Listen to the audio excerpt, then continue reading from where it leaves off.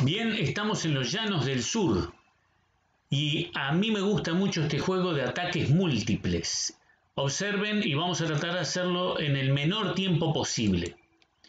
Vamos a hacerlo en el nivel 1 y comenzamos ya. Hay que observen cómo hace con las flechas. Ahí está. Tengo que amenazar dos. Si hay doble amenaza, entonces se capturan con las flechas.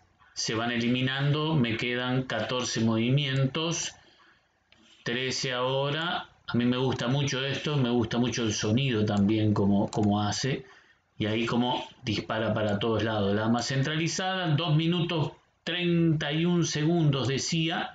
Así que esto fue en 29 segundos, en 11 movimientos, se hice 400 puntos de puntaje. Este es el desafío. Ajedrez de la Federación Uruguaya Ajedrez con ajedrez y leyendas. El desafío que le estamos planteando a ustedes, intenten superar este récord.